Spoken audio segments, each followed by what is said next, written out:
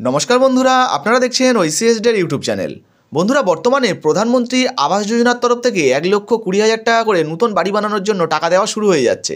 তার আগে আপনাদেরকে জানিয়ে দিই, আপনারা যারা যারা এখনও পর্যন্ত কোনো রকম পাকা বাড়ি পাননি বা বাড়ি বানানোর টাকা পাননি, আপনাদের জন্য বড় সুখবর রয়েছে, বর্তমানে কিন্তু আবাস যোজনার আবেদন শুরু হয়ে যাচ্ছে। আপনাদের এলাকাতেই কিন্তু আবাস যোজনার আবেদন শুরু হয়ে যাবে আর সেই জায়গায় আপনি গিয়েও আপনার নাম নথিভুক্ত করতে পারবেন। তো বর্তমানে কীভাবে প্রধানমন্ত্রী আবাস যোজনা বা বাংলার আবাস যোজনার নাম নথিভুক্ত করতে পারবেন, কীভাবে আপনি আবাস যোজনার বাড়ি পাবেন, টাকা কীভাবে পাবেন, কারা কারা পাবেন, সমস্ত কিছু আজকের ভিডিওতে জানাব এবং বাড়ির টাকা পেতে আপনাকে কী কী করতে হবে সেটাও জানাব। তাই ভিডিওটা একটু স্কিপ না করে পুরোটা দেখতে থাকুন। আর আপনি যদি আমাদের চ্যানেলে নতুন এসে থাকেন, তাহলে ভিডিওর নিচে যে লাল রঙের সাবস্ক্রাইব বটনটি দেখতে পাচ্ছেন, এখানে ক্লিক করে চ্যানেলটিকে সাবস্ক্রাইব করে পাশের বেল আইকনটিকে অন করে রাখুন এই ধরনের গুরুত্বপূর্ণ ভিডিও সবার আগে পাওয়ার জন্য। সঙ্গে ভিডিওতে একটি লাইক দিয়ে দেবেন এবং ভিডিওটা অবশ্যই আপনার বন্ধু বান্ধবদের সঙ্গে ফেসবুকে হোয়াটসঅ্যাপে বেশি বেশি করে শেয়ার করবেন। তো চলুন বন্ধুরা ভিডিও শুরু করা যাক। তো বন্ধুরা, বর্তমানে প্রধানমন্ত্রী আবাস যোজনা বা বাংলার আবাস যোজনার যে বাড়ি দেওয়া হচ্ছে, সেই নতুন ঘরের কিন্তু আবেদন শুরু হয়ে গেছে। তো আপনারা এই আবেদন করতে পারবেন কি না বা কাদেরকে ঘর দেওয়া হচ্ছে, আপনাদেরকে জানিয়ে দেবো।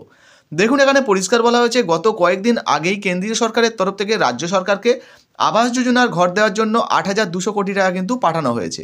নির্দেশ দেওয়া হয়েছে, এক মাসের মধ্যেই আবাস যোজনার বাড়ি দিতে হবে প্রত্যেক উপভোক্তাকে।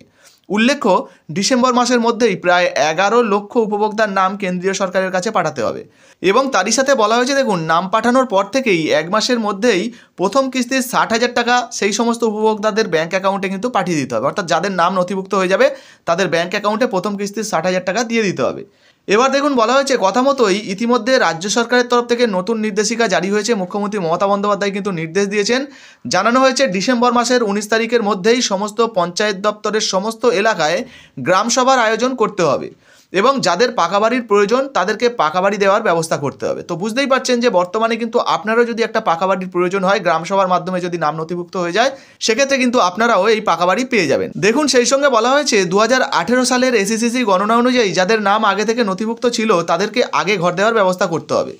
তো বুঝতেই পারছেন, বর্তমানে এসিসিসি গণনা অনুযায়ী এর আগে যাদের নাম নথিভুক্ত ছিল, সেই সমস্ত ব্যক্তিদেরকে কিন্তু আগে ঘর দেওয়া হবে, নতুন করে নাম কিন্তু নেওয়া হচ্ছে না।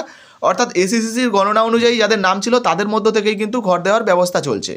সেই সঙ্গে দেখুন, বলা হয়েছে, মুখ্যমন্ত্রীর নির্দেশে বনগার ছয়গড়িয়া গ্রাম পঞ্চায়েতের এক বাসিন্দা আবাস যোজনার প্রকল্পে বাড়ি তৈরি করার জন্য আবেদন করেছিলেন। তিনি প্রথম কিস্তির ষাট হাজার টাকা পেয়েছিলেন, কিন্তু পরের দ্বিতীয় কিস্তির টাকা আর পাননি। ফলে তার বাড়ির কাজ থমকে গিয়েছে। হীরালাল দেবনাথ নামে এক বাসিন্দা দ্বিতীয় কিস্তির পঞ্চাশ হাজার টাকাও পেয়ে গেছেন, কিন্তু পরের তৃতীয় কিস্তির দশ হাজার টাকা কিন্তু আর পাননি। ফলে তারও কিন্তু বাড়ির কাজ বন্ধ হয়ে গিয়েছে। দেখুন, বলা হয়েছে, রাজ্য থেকে জানানো হয়েছে, কেন্দ্রের তরফ থেকে প্রধানমন্ত্রী আবাস যোজনার বাড়ি বানানোর জন্য টাকা দেওয়া হয়ে গেছে। যাদের এই সমস্ত সমস্যা রয়েছে, তাদের খুব শীঘ্রই তাদের প্রাপ্য টাকা তাদের ব্যাঙ্ক অ্যাকাউন্টে দিয়ে দেওয়া হবে। তো বুঝতেই পারছেন প্রধানমন্ত্রী আবাস যোজনা বা বাংলার আবাস যোজনা যেটাই বলেন না কেন, প্রধানমন্ত্রী আবাস যোজনার টাকা ইতিমধ্যে দেওয়া হয়ে গেছে এবং সমস্ত উপভোক্তার ব্যাঙ্ক অ্যাকাউন্টে কিন্তু এক মাসের মধ্যে দেওয়া শুরু হয়ে যাবে। বলা হয়েছে, দেখুন, যে আবাস যোজনা প্রকল্পের বাড়ি বানাতে প্রথম কিস্তিতে ষাট হাজার টাকা দেওয়া হয়, দ্বিতীয় কিস্তিতে পঞ্চাশ হাজার টাকা দেওয়া হয় এবং তৃতীয় কিস্তিতে দশ হাজার টাকা করে কিন্তু দেওয়া হয়। এই প্রকল্পে কেন্দ্র ইতিমধ্যে আট হাজার দুশো কোটি টাকা পাঠিয়েছে, বাকি প্রায় সাড়ে পাঁচ হাজার কোটি টাকা রাজ্য সরকার বরাদ্দ করবে। তো বুঝতেই পাচ্ছেন সিক্সটি ফর্টি কিন্তু রাজ্য সরকার এবং কেন্দ্রীয় সরকারের তরফ থেকে দেওয়া হয় সিক্সটি পার্সেন্ট কেন্দ্র দেয় এবং ফর্টি পার্সেন্ট কিন্তু রাজ্য সরকার আবাস যোজনার টাকা দেয়। দেখুন, বলা হয়েছে খুব শীঘ্রই বাংলার আবাস যোজনা বা প্রধানমন্ত্রী আবাস যোজনা প্রকল্পের কাজ শুরু হয়ে যাবে এবং দু হাজার আঠেরো সালের এসিসিসি গণনা অনুযায়ী যাদের নাম নথিভুক্ত ছিল, তাদেরকে আগে ঘর দেওয়ার ব্যবস্থা করা হবে। বলা হয়েছে, দেখুন, আশা করা যাচ্ছে ডিসেম্বর মাসের মধ্যেই এই গ্রামসভার মাধ্যমে প্রত্যেক প্রাপকদের নাম নথিভুক্ত করা হবে। তো আপনাদেরকে আবারও জানিয়ে দিই, বন্ধুরা দু হাজার আঠেরো সালে যে এসিসিসির গণনা হয়েছিল, যদি আপনাদের বাড়ি থেকেও ছবি তুলে নিয়ে যায়, সেক্ষেত্রে কিন্তু আপনাদেরও আগে ঘর পাওয়ার সম্ভাবনা রয়েছে। তাছাড়াও গ্রামসভার মাধ্যমে নতুন কিছু ব্যক্তিদের নাম নথিভুক্ত হতে পারে। যদি আপনাদের নাম নথিভুক্ত হয়ে যায়, সেক্ষেত্রে আপনারাও কিন্তু আবাস যোজনার এই ঘরের টাকা পেয়ে যাবেন এক লক্ষ কুড়ি হাজার টাকা। বাড়ি বানানোর জন্য সরাসরি আপনাদের ব্যাঙ্ক অ্যাকাউন্টে কিন্তু পেয়ে যাবেন। তো বর্তমানে প্রধানমন্ত্রী আবাস যোজনার নতুন বাড়ি দেওয়ার জন্য আপনাদের এলাকাতে গ্রামসভার নির্মাণ হচ্ছে কিনা, অর্থাৎ গ্রামসভার আয়োজন হচ্ছে কিনা, অবশ্যই নিজের কমেন্ট বক্সে কমেন্ট করে জানিয়ে দেবেন। ভিডিও ভালো লাগলে ভিডিওতে একটি লাইক দিয়ে দেবেন এবং ভিডিওটা অবশ্যই আপনার বন্ধু বান্ধবদের সঙ্গে ফেসবুকে হোয়াটসঅ্যাপে বেশি বেশি করে শেয়ার করবেন। ধন্যবাদ।